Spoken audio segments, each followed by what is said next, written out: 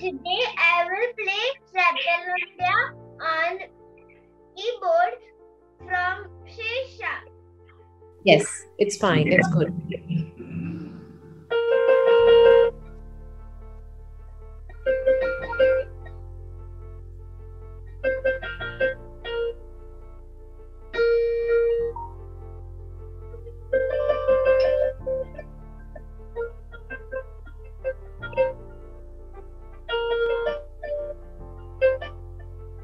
Thank you.